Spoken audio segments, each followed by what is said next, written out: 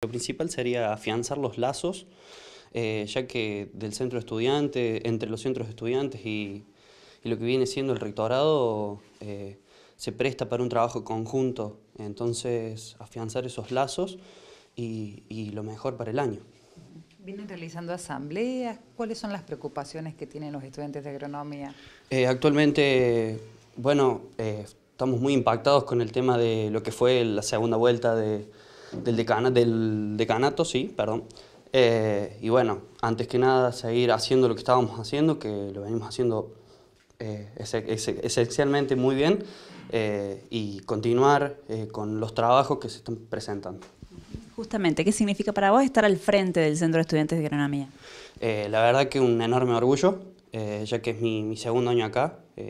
muchos me lo han dicho que soy muy joven para, para estar en presidente, pero me llena mucho de orgullo y muchas ganas de trabajar. Eh, hay un grupo muy, muy motivado detrás, así que presenciar y, darle hacia adelante con el mismo trabajo. Espero reforzar eh, las relaciones que tenemos con las autoridades em, y seguir trabajando juntos en, proyectos. Y, y bueno, y eso, charlar.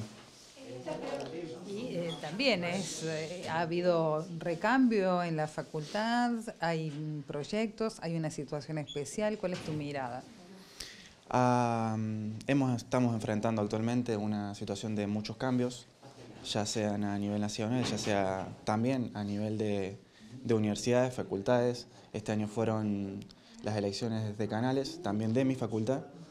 Em, con buenas expectativas, se espera poder trabajar con cada una de las autoridades.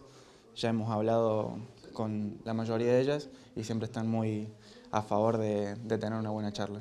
Creo que mis expectativas son, yo a, las rectoras no las conozco personalmente todavía, así que eh, por ahí formar desde el principio un buen vínculo, si bien como centro estudiante hemos trabajado en conjunto, este, bueno, en definitiva eh, generar desde arranque una buena relación. ¿Cuáles son algunos de los proyectos más importantes que ustedes están viendo para trabajar con las autoridades, necesidades que presentan los estudiantes? Y desde Ciencias Económicas, este, los principales proyectos que tenemos ahora son tal vez más dirigidos a nuestra facultad, en términos de capacitaciones, de viajes, de charlas, pero este, bueno, sin duda eh, tenemos que vincularnos con, con rectorado para eh, la concreción de varios de estos proyectos.